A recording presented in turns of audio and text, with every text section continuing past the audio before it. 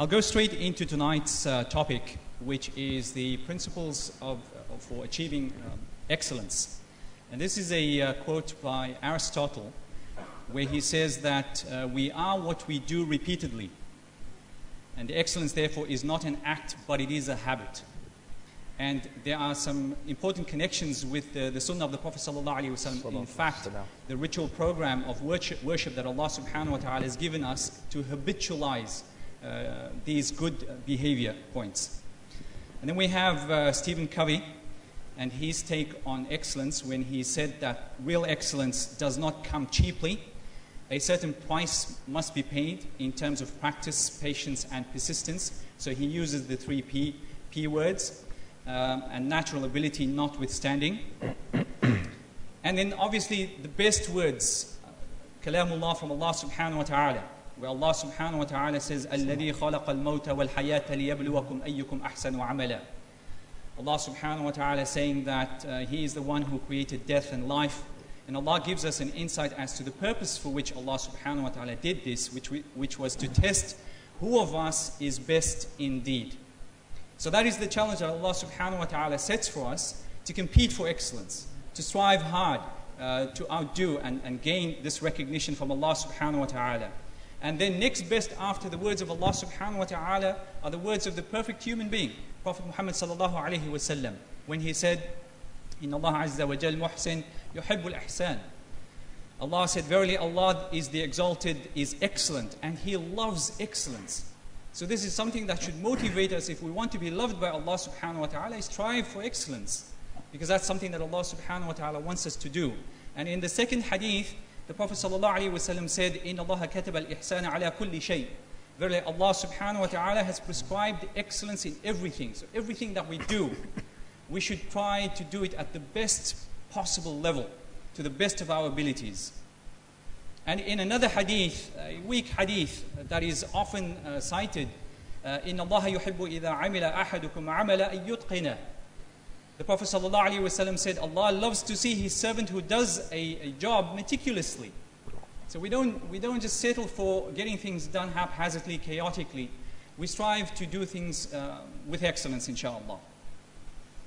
And then there's the example of uh, another hadith that was taught to a young seven year old. Muhammad al-Fatih. He was taught by his teacher this hadith, where the Prophet ﷺ said, surely Constantinople, which is now called Istanbul, will be opened. And how blessed the commander who will open it and how blessed his army.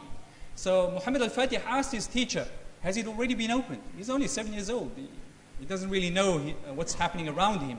But you can see that he was keen to find out, has, has anybody conquered or opened up uh, Constantinople? And his teacher said to him, No. So he said to his teacher, Well, can I be that person? So he asked his teacher, Can I be that one? Can I be that person that the Prophet ﷺ is talking about? And his teacher said to him, Yes, most definitely you can. And he went away from that lesson, telling his friends, bragging to them and boasting to them that I am going to be the one to open uh, Constantinople. And with that determination and inspiration, striving for excellence, guess what? At the age of 21, Allah subhanahu wa ta'ala blessed him with that. And he was blessed to be that person that the Prophet ﷺ referred to. Now, how do we relate, relate all of that nice theory? So it looks good in theory, right? These beautiful principles and messages and values. But where's the state of the ummah today? Where are we? Locally, uh, nationally, as a country, and globally as an ummah. Some people have started, uh, started to refer to the, the state of the Muslim nation undergoing, going through its dark ages, unfortunately, sadly. And we know that. We know that reality. It's a sad reality. And we, we can't turn a blind eye to it. Our situation is not the best, and there's a lot of hard work that we need to do. Uh, but I think until we get to grips with this reality, we can use all these principles striving for excellence to rectify and change and turn things around, inshallah. And that's why we are here tonight, inshallah, uh, with our special guest, Sheikh Yahya Ibrahim, who has uh, given us generously of his time. Just a quick introduction uh, about Sheikh Yahya. He's an educator and Muslim chaplain living in Perth, and he describes himself as Canadian by birth, Egyptian through ancestry, Turkish by marriage, and Australian by residence. So he's a global, uh, a global individual, multi, multifaceted, alhamdulillah. And that's how we, we, we should be, global citizens. Uh, he's a registered teacher serving the Muslim community of Curtin University, teaches internationally with uh, Al Kawthar Institute. He just came back from a two week tour of Malaysia. Uh, began memorizing the Quran at the young age of 16, completed 20 months later, receiving an ijazah in proficiency and instruction to teach.